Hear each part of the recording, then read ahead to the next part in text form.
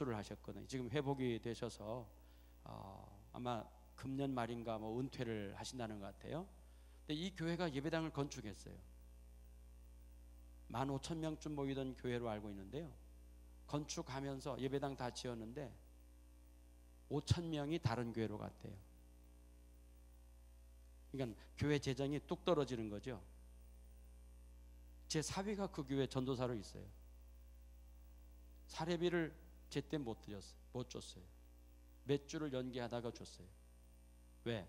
은행에 빚을 갚아야 되는데 중도금 갚아야 되는데 대출 받은 거 다 모자라니까 다 채워서 줘야 되니까 그래서 미루고 미뤘던 거예요. 예배당은 좋아졌지만 물론 만 명의 성도가 있으니 뭐 작은 교회는 아니지요. 그렇죠? 예. 아, 그래서 아, 하나님께서 그렇다면 예배당 짓는 것 이상으로 그래 힘써야 될 게 뭐냐? 예. 예배당 짓는 것 이상으로 힘써야 될 거는 돈이 없으면 건축 헌금은 못 할지라도 뭘 할 수 있어요? 건강한 교회가 되도록 기도하고 헌신하는 일을 할 수 있잖아요. 그죠? 아멘? 예. 그 일을 하면 우리가 못하면 다음 세대라도 할 수 있을 거예요. 여러분, 유럽에 있는 교회를 가면요. 유럽에 있는 교회 대부분이 텅텅 비어 있어요. 젊으신 분이 50대 이상이에요. 젊은 사람 없어요. 그러니까 지금 목사도 없어. 그럼 어떻게 해? 목사도 한 옛날 우리 뭐한 분 목사님이 시골 교회 여러 교회를 맡아 가지고 돌아가면서 세례해 주고 그랬잖아요. 지금 영국 교회가 그렇게 돼 있어요. 목사 할 사람이 없어요. 예. 네. 한분 목사님이 여러 교회를 돌아다니면서 설교를 하고 성례를 집행해요. 그리고 예배당들은 엄청 크게, 크게 잘 지었는데 그 건물을 유지할 수가 없어요. 헌금이 안 나오니까. 근데 영국 같은 이런 유럽 교회들은요. 건물을 함부로 허물 수도 없어요. 그 건물은 이제 오래된 건물들이기 때문에 이 저 법으로 말이죠. 문화재처럼 취급을 해요. 그래서 수리를 해야 돼. 근데 수리할 재정이 없는 거예요. 그러니까 어떻게 해야 돼요? 파는 거예요. 파는 거.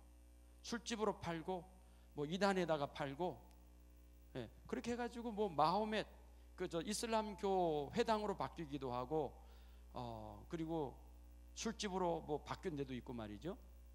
그 사람들이 장사해 가지고 그들이 이제 가지고 있는 돈 가지고 그 건물을 수리하는 것이죠, 이제. 여러분 한국 교회도요. 지금 이게 먼 나라 얘기 아니고 지금 우리 앞에 와 있어요. 우리 앞에.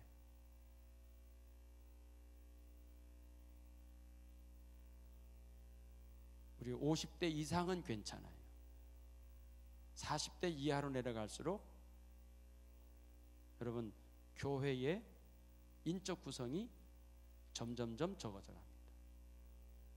앞으로는 사람도 없어요. 학교가 폐교되는 거 아시죠?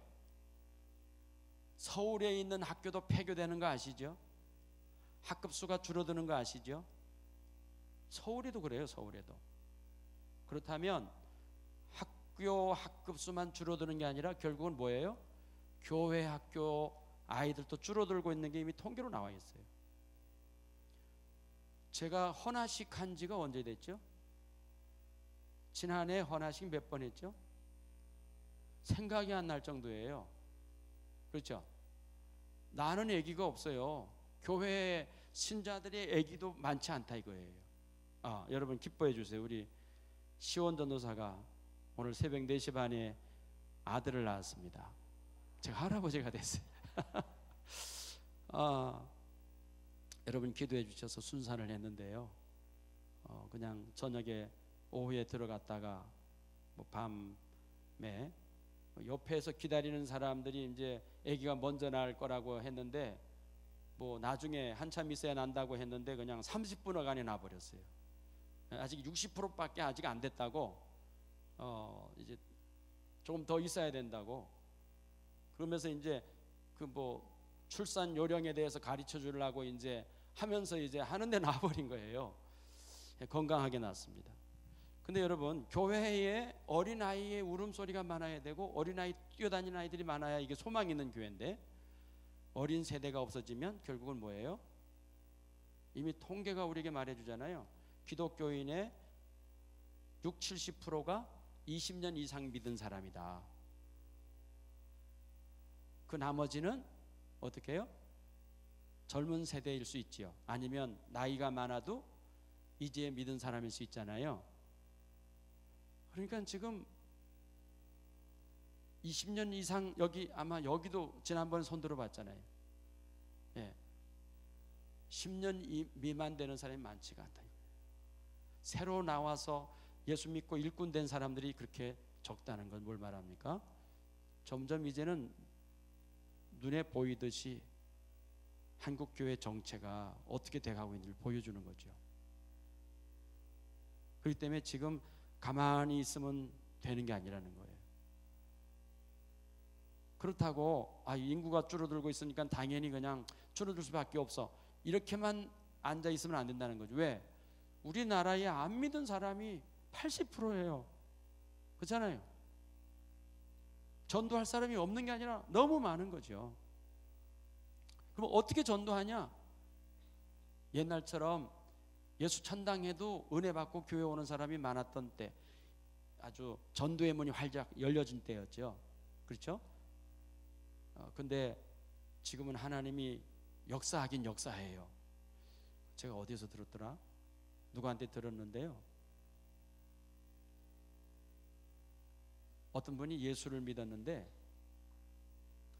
불교를 오래 다니다가 그분이 이제 에이 갑자기 이제 마음이 바뀌, 바뀌었어요. 교회에 가, 교회나 가야 되겠다. 예수나 믿어야 되겠다. 하고 절간에 스님을 찾아갔어요. 왜냐하면 그동안 계속 그 절간에 다니면서 뭐 불공도 드리러 왔던 분이니까 스님 제가 이제는 절간 그만 나오고 교회나 갈까 그래요. 그랬더니 스님이 뭐란지 아세요? 생각 잘 하셨습니다. 아, 참 부처님 마음인 것 같죠? 그러면서 교회는 가려면 어디로 가실랍니까? 교회를 가시려면 그 파란 지도에다가 십자가가 그려진 마크가 있는 교회로 가십시오. 그 교회가 건전합니다. 그렇게 소개를 해주더라는 거예요. 그래가지고 찾다 보니까 그 교회가 바로 우리 통합측 교단 마크가 있는 교회였다는 거죠. 예. 그러면서 이 스님이 뭐라 그러냐면 나도 얼마 있다가 예수 믿으려고 합니다. 이분이 성경을 보고 있었다는 거예요, 그분이. 예. 그러니까 하나님이 지금 이 시대에도 역사한 줄 믿으시기 바랍니다. 준비된 사람들을 하나님이 불러내시는 거예요. 지난번에 주일날 말씀드린 서우경 씨 있잖아요. 전도해가지고 예수 믿은 사람 아니에요. 하나님이 그냥 만지셔가지고 그 사람을 불러내신 거예요. 불러내시는 거예요. 예. 그러니까 우리가 아, 오죽 우리가 제대로 안 하고 있으면 하나님이 그런 방법이라도 가지고 구원하셨겠냐 그 말이죠. 그래서 우리가 셀 교회라고 하는 것은요. 무엇과 같으냐? 그물이에요. 그물. 예. 그물과 같아요. 셀이 뭐예요? 요 구멍 하나하나가 다 셀이에요. 이게 전부 엮여져 있는 그물이죠. 그렇게 되어 있으면 어떻게 고기 잡는 게 쉬워지는 거예요. 그러니까 이 그물은 찢어지지 아니하는 그물이에요. 고기를 내온 것이 심이 많았지만 찢어지지 아니하더라. 이게 셀 교회거든요. 이게 사도행전에 주님이 그 아까 말씀드렸던 하나님의 창세전부터 가지고 있던 비밀. 그게 교회를 통해 성취되는 거예요. 교회를 통해서. 그러니까 그 교회를 세우도록 하나님이 우리에게 물질도 주시고 우리에게 지혜도 주시고 건강도 주시고 우리 자녀들도 하나님 점점 위대한 사람들로 하나님 써 주시고 왜 하나님의 영광을 나타내는 백성들로 이 세상에서 리더가 되게 하시는 거 그런 계획을 가지고 있다는 거죠. 근데 우리 비전이 너무 작은 비전이 돼 가지고 우리 가정, 우리의 식구만을 위한 기도가 되고 어, 이런 어떤 일에 내 삶의 목적이 세워지고 있다면 이 하나님이 우리를 향한 그 큰 그림을 놓쳐버리는 게 되죠. 네. 자, 우리 저 지난번에 보던 것 이어서 어, 한번 더 정리를 하겠습니다. 자, 4대 직무가 있다 그랬죠. 네 가지 직무를 뭘 감당해야 되냐?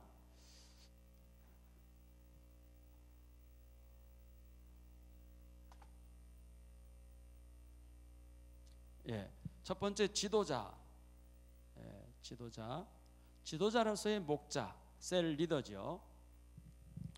이 손가락 다섯 개 가운데 이게 뭐였죠? 엄지. 예? 이게 뭐였죠? 우리 삼교구 이게 뭐예요? 공동체. 다 같이 시작. 예, 공동체입니다. 이게 뭐였죠? 전도였어요. 이게 뭐였죠? 지도력이라 그랬죠. 지도력. 지도력이 뭐예요? 지도자로서의 목자를 세워가는 거예요. 목장 안에 공동체에서 이 목, 공동체는 목장의 의, 목장이 공동체라는 거예요. 목장이 공동체 되려면 어떻게 되냐? 이 가운데가 십자가 십자가 예수님이 못 박히신 십자가가 여기에 못 박힌 자국이 있어야 돼요. 그건 뭐야? 내가 죽었다는 걸 말하는 거예요. 내가 죽은 사람들이 거기 지체로서 모였을 때 공동체가 이루어지는 거예요. 그러니까 세론들이 예수 그리스도를 믿는 그리스도인이라야 돼요. 그렇죠? 아직 안 믿은 사람은 나중에 예수 그리스도에 대한 복음을 전해서 그가 그리스도와 함께 죽은 자가 되는 거, 세례 받은 자가 되게 하는 거죠.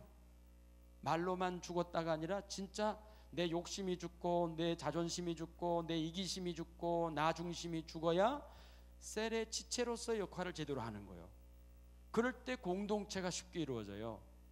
왜 공동체가 안 이루어지느냐? 목원들이 안 죽었어. 자기 감정이 살아있고, 자기 유익이 살아있고, 자기 기분이 살아있고, 자기 욕심이 살아있으면 공동체를 이룰 수가 없어요. 그잖아요. 누가 한마디 하면 삐져가지고 안 나와버리고. 이건 뭐예요? 내가 안 죽었다는 거예요. 죽은 사람 건드려 봐요. 뭐라 그래요, 장로님? 아무 소리 안 하잖아요. 그러니까 죽었는지 안 죽었는지 한번 어떻게 보면 알아요? 예? 꼬집어 보면 알아요. 죽었나 살았나? 반응이 없어요. 그렇죠? 욕을 해도 반응이 없고 그러니까 십자가니 내가 죽었다는 거죠. 자, 그래서 거기에 어, 우리 아까 어디로 갔죠? 아, 이 다음에요. 네. 4대 직무. 자, 양치기로서의 목자입니다. 첫 번째, 목장원들의 영적 필요를 돌보는 것이 양치기. 예. 두 번째는 경조사, 삶의 필요 부분을 성심으로 돕는 겁니다. 성심이라는 말은 죽게 하듯이 하는 것, 주님께 하듯이. 다음에 다 같이 읽습니다.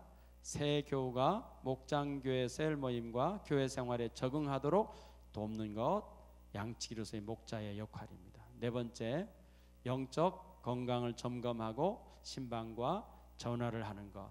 예. 다섯 번째 목장원들의 상태를 관찰하고 담당 사역자에게 정기적으로 보고하는 것. 네. 자, 그다음에 전도 촉진자입니다.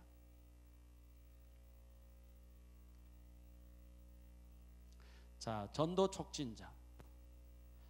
자, 전도 촉진자에 있어서는 어, 예, 지금 전도 촉진자는 두 번째 셀 리더가 목자가 하는 일이 뭐냐? 전도 촉진자로서 역할을 해야 된다는 거예요. 첫 번째 지난번에 말씀드렸었죠. VIP 확보해야 된다. VIP 전도의 모본을 보여야 된다. 모임시마다 전도를 강조해야 된다. 이거 안 하면 전도 촉진자의 역할, 직무를 저버린 거예요. 직무를 매주 강조해야 됩니다. 전도에 대해서. 간헐적으로도 강조해야 됩니다. 양을 기르고 양육하는 거, 양을 낳는 일, 전도하는 일이죠. 여기에 관심을 가져야 되고 생활 전도, 관계 중심 전도에 익숙해지도록 돕는다. 앞으로요. 그 훈련의 기간 동안에 이런 부분에 대한 것을 어떻게 관계를 맺어야 되는지 이런 부분에 더 자세한 얘기를 하게 될 겁니다. 예. 자, 요 부분은 전체적인 그 그림으로서 여러분 보시길 바랍니다. 두 번째 구원 간증문 작성 훈련입니다. 전도 도구를 활용하는 숙지. 예. 뭐 사형리를 사용할 수도 있고 뭐 다리 전도 요한복음 3장 16절 전도 다 할 수 있어요. 어, 그러나 이 구원 간증문에 대해서는 내가 예수 믿기 전에는 이런 삶을 살았고 저는 이렇게 이런 사람이었습니다. 그러나 어떻게 해서 예수님을 만나게 됐고 믿은 결과 나는 이렇게 변화되었다. 믿고 났더니 이렇다 하는 것을 간증하는 게 구원 간증문이죠. 자, VIP 리스트를 사용하는 것인데요. 열매 맺을 때까지 관리를 해야 됩니다. 예. 이 비유형의 불신자가 좀 마음이 다친 사람이잖아요. 이런 사람일지라도 A 유형으로 바뀌어지면서 그 사람이 말씀으로 세워지기까지 그 역할을 목장에서 할 수 있도록 우리가 준비되는 것 이것이 앞으로 어, 우리 목자 그 훈련의 그 일주일 동안의 과정에서 여러분들에게 또 구체적으로 말씀을 해드릴 내용이에요. 그 다음에 해심자 교회 예배 참여를 격려해야 되고 미결신자 이 미결신자를 믿지 않는 사람을 불신자라는 말을 요즘 안 쓰고요. 뭐라고 쓰냐면 미신자라고 얘기하더라고요. 미신자 아직은 믿지 않지만 나중에 믿을 사람 그것도 의미가 있죠. 불신자는 뭐예요? 안이불이잖아요. 안 믿는 사람, 안 믿어버릴 사람, 뭐 이렇게 되면 좀 그렇죠. 따라합시다. 미신자. 우리 목장에서 얘기할 때 혹시 믿지 않은 분에 대한 얘기를 할 때는 미신자라고 얘기하세요. 미신자. 예. 그렇다고 또 약간 이 발음을 잘못하면 미신자 하면 안 되겠죠. 예. 미신을 믿는 사람처럼 오해되지는 않게. 자, 미결신자 계속 전도 대상자로 관리를 해야 됩니다. 다음 네 번째 후원자 사역 지속되도록 격려해야 됩니다. 1대1 양육의 과정을 우리 교재가 있죠. 그 교재 가지고도 할 수 있고요. 나중에 우리 목자 훈련을 하면서 어, 다른 교재를 여러분들에게 또 말씀을 드릴 수 있는데 그 내용은 여러분들 더 쉬운 그 교재로 한번 어, 경험을 한번 해보겠습니다. 그 다음에 자 지도자로서 아까 말씀드리다가 갔는데요.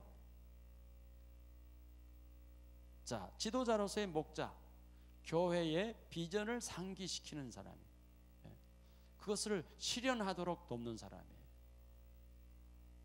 그러니까 여러분들은 우리 교회 비전이 뭔지를 알고 있어요. 우리 교회 사명 선언이 무엇인지를 마음에 가져야 돼요. 그리고 여러분들이 우리 교회에 여덟 가지 질적 특성이 뭔지 건강한 교회를 이루고자 하는 것이 무엇인지를 마음에 가져야 되겠고요. 우리 사역 가치가 무엇인지를 알아야 돼요. 우리 교회 사역 가치. 네. 수첩에 나와 있죠 앞부분에 그런 것을 통해서 아 우리 교회는 어느 방향으로 가야 되고 있는지 뭘 해야 되는지 이걸 모르면 교회가 가고자 하는 방향과 영 거꾸로 얘기를 해버리고 반대로 얘기해버리고 그러면 안 된다. 위원회 일을 하든지 팀 사역을 하든지 모든 일을 할 때도 그런 것들이 기본이 돼가지고 해야 된다는 거죠. 그 다음에 목장원의 의견을 반영하는 사람 이거 참 중요해요. 이 뭐라 그럴까? 지도자로서 성숙되지 못하면요 지난번에 자신의 헌신해야 된다 그랬죠. 예? 말씀에 헌신해야 되고 자신의 헌신해야 되고 사역에 헌신해야 된다고 하는 말을 했잖아요 처음에 자 자신에 대해서 헌신하지 않냐면 어떻게 되느냐 지도자가 되면요 지 마음대로 하려 그래 지 마음대로 다른 사람이 뭐라 그래도 에 시끄러워.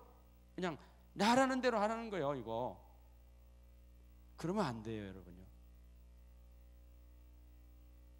요즘 세상 대통령도 자기 마음대로 하니까 욕 많이 먹잖아요. 예? 백성들의 말에 귀를 안 기울인다고. 일방적이다고. 그분이 너무 똑똑해서 그런 것 같아요. 우리가 지도자라고 하는 것은요, 뭐 다른 사람 말 들으면 지도자가 아닌 것처럼 오해하는 경향이 있는 것 같아요. 다른 사람이 내가 하는 일에 대해서 뭐 어, 마치 뭐라 그러면 어, 저 사람이 나를 아주 반대한다 이런 생각을 가지는 것 같아요. 그런 마음 가질 필요 없어요. 내가 이미 죽었잖아요. 그렇죠? 그러니까 이거 아닙니다라고 했다고 해서 딴지 건다 생각할 필요 없다 이거예요. 그 말을 들어볼 필요가 있어요. 아, 왜 아니죠? 아, 그 얘기가 좋은 얘기면 받아들여야 되겠죠. 그잖아요. 내 생각하고 달랐어도 다른 그 생각이 건강한 생각이고 아, 정말 유익하다면 아, 이거 참 좋겠습니다. 그렇게 합시다. 그럼 얼마나 좋아요.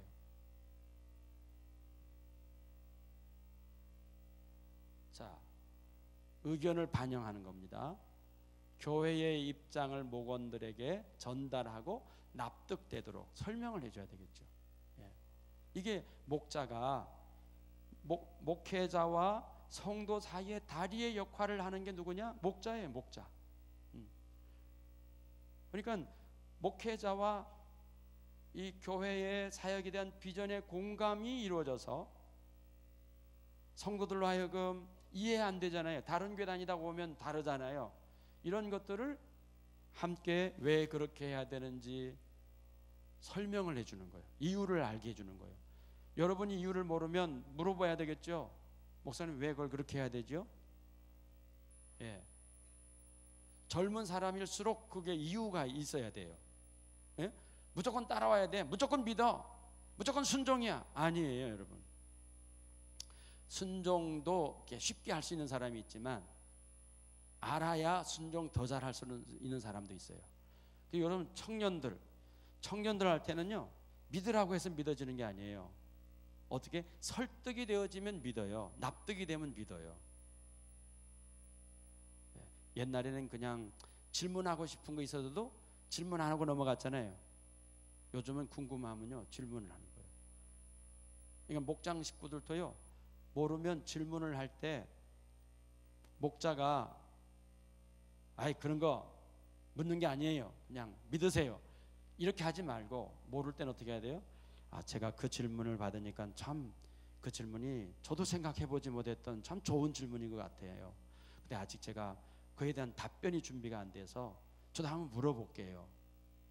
저도 좀 배워야 되겠네요. 이러면요 목원들이 더 존중하는 거예요. 그것도 모르는 게 무슨 목자냐 이렇게 시비하는 게 아니고 야 저분이 참 겸손한 분이구나. 저분 밑에서 내가 신앙생활을 하면 정말 제대로 믿음 생활하겠구나. 이렇게 생각하지 무시당한다 생각하지 마시라고요. 예.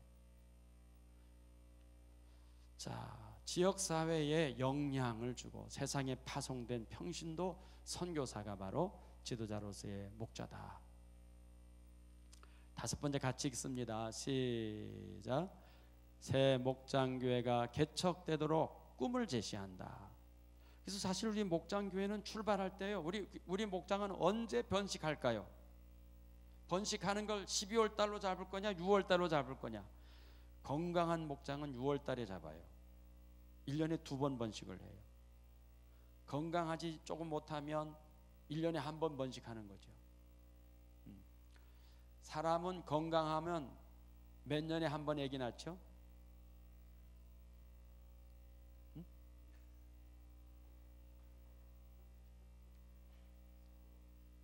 10개월에 하나 나요? 그냥 보통 한 3년에 한 번 낳죠. 그렇죠? 예. 왜냐하면 젖 먹이고 좀 이렇게 젖을 떼야 그렇잖아요. 예. 그 다음에 애를 또 가지고 양육할 수 있는 터울이 되잖아요. 요즘은 그냥 뭐 1년 터울로 낳기도 합니다만은 아마 옛날보다 먹을 게 많아서 좀 그런 게 아닌가 싶어요.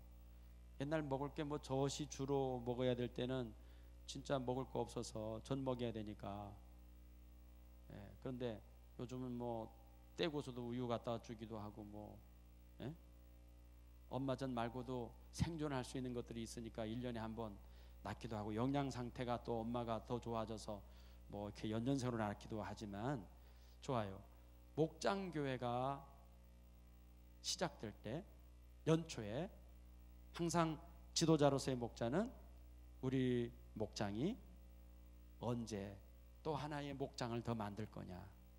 우리의 목원들 중에서 하나의 예비 목자가 주축이 돼 가지고 하나의 건강한 목장을 번식시킬 수 있도록 그 꿈 가지고 도전하는 것이죠. 예. 근데 그걸 그냥 막연히 하는 게 아니라 실질적으로 어떻게 그것을 이루어가는지는 나중에 다 우리가 어, 나누게 될 겁니다. 자, 그 다음에 안내자. 4대 직무 가운데 안내자. 네 번째로서의 모임 안내자로서의 목자입니다. 예, 임재하신 그리스도께 초점을 맞춘다. 목자가 새로운 손님에게만 신경 잔뜩 써버리면 안 돼요. 물론 관심은 가져야 되겠지만 그보다 더 중요한 관심은 뭐냐? 우리 목원들이 주님의 임재 이곳에 우리만 모였다는 게 아니라 주님이 이곳에 계시다는 것을 의식하도록 멘트도 하고 얘기도 해주고 그런 우리의 마음 자세도 갖도록 해주는 거 이게 중요하다 이거예요. 예.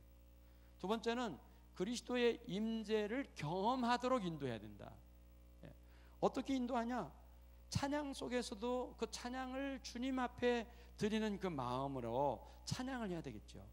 그 찬양 부르면서도 주님이 나를 만져주시는, 나를 치유해 주시는, 예, 내 심령을 어루만져 주시는 그런 찬양이 되면 좋겠죠. 기도할 때도 그냥 형식적인 기도가 아니고 어떤 기도? 예, 성령의 인도를 따라 그때 적절한 기도. 그러니까 준비가 돼야 되겠죠. 그 목장 준비를 위해서 기도하면서 목원의 형편을 다 알잖아요. 신방하면서 다 알았잖아요.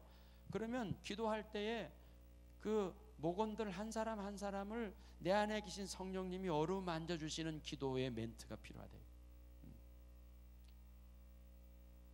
하나님 우리 문장로님 요즘 사업이 참 어려운 때 아침에 출근해서 낮에 점심 먹을 때까지 손님 한 사람도 안 왔을 때 허전함을 주님 아시지 않습니까? 주님 그럴 때에 주님 필요한 사람 좀 보내주세요. 예. 너무 바빠가지고 피곤하도록 보내지진 마시되 할 일 없이 그냥 하루 시간 보내는 것 헛되이 왔다가 가지 않도록 하나님 우리 장로님에게 필요한 재정을 오늘 하루하루마다 채워 주십시오. 이 기도가 우리 장로님 어때요? 그런 기도 옆에 목원이 해줬다면, 예. 요즘 사업이 예전과 어떻습니까? 좀 옆에 우리 권사님이 대변인 역할을 하셨어요. 예. 우리 권사님 기도 그렇게 하고 계시죠? 예. 중보 기도를 그렇게 하시죠.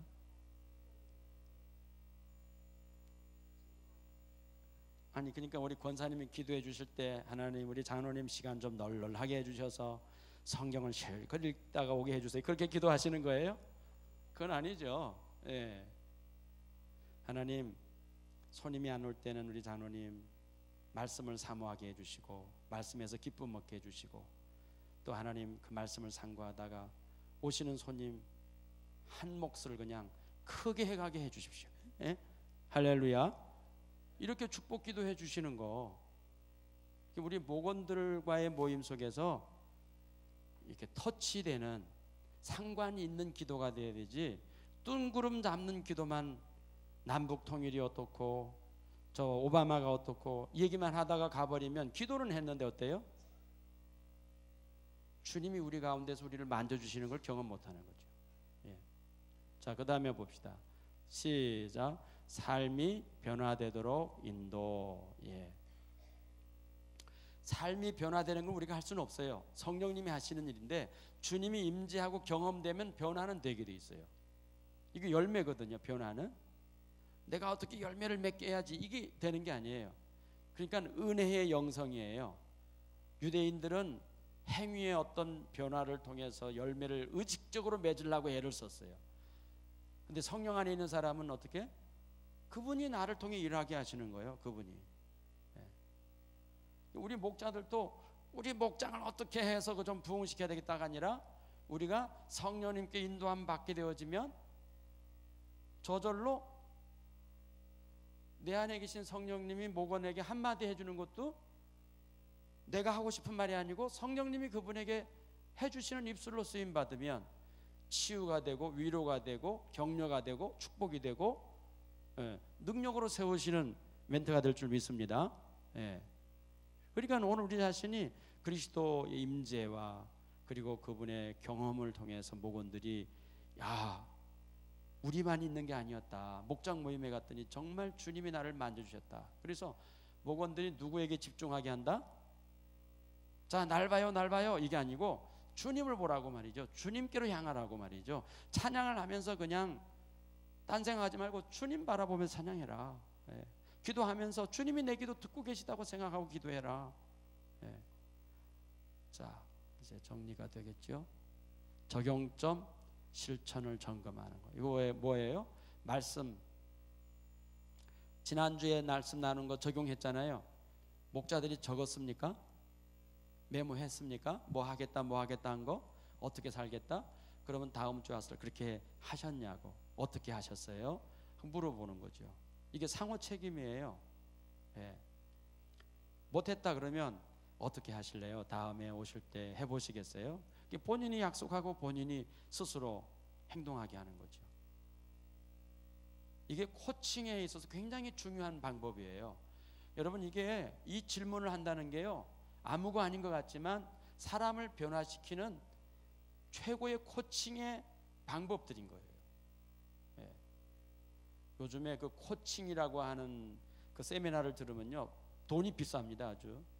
100만 원 뭐, 뭐 이렇게 이상 받아요. 근데 그 코칭이 뭐 하는지 아세요?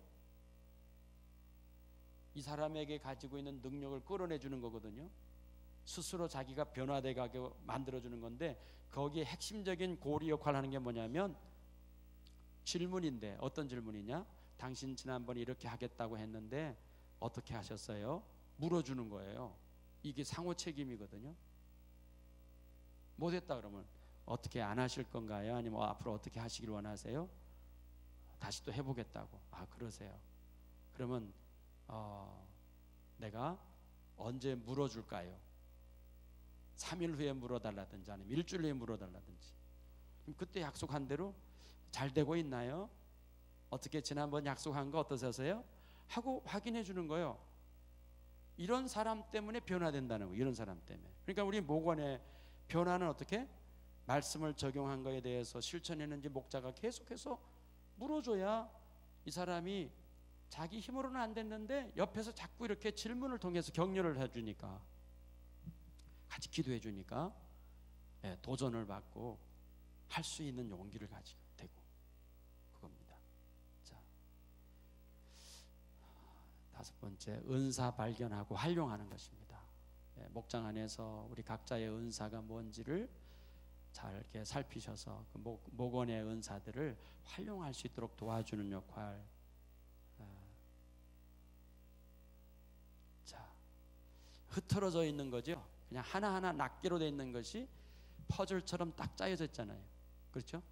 우리 목원들이 개별적으로 가지고 있는 은사를 하나의 조화를 이루는 어, 어떤 서로 서로 필요한 부분들을 잘 섬겨갈 수 있도록 이렇게 만들어주는 부분들. 자, 자기 개발에 대한 부분은 우리 다음 주에 하겠습니다. 자, 혹시 질문 있나요? 자, 없으시면 어, 우리 저 앞부분 네 가지 직무를 한번 보여주시기 바랍니다. 네 가지 직무, 네 가지 직무를 가지고 우리 함께 기도하십시다.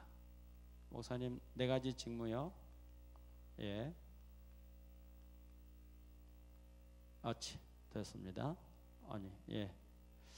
우리 양치기로서의 목자, 전도 촉진자로서의 목자, 지도자로서의 목자, 안내자로서의 목자에 대해서 오늘 나누는데 하나님 나를 목자로 세우신 이 네 가지 직무를 목장에 모일 때마다 성령님께서 그때 그때마다 지혜를 주셔서 생각나게도 해주시고 또 어, 필요한 안내자로서 섬김의 사람으로서 도구로 써주십시오.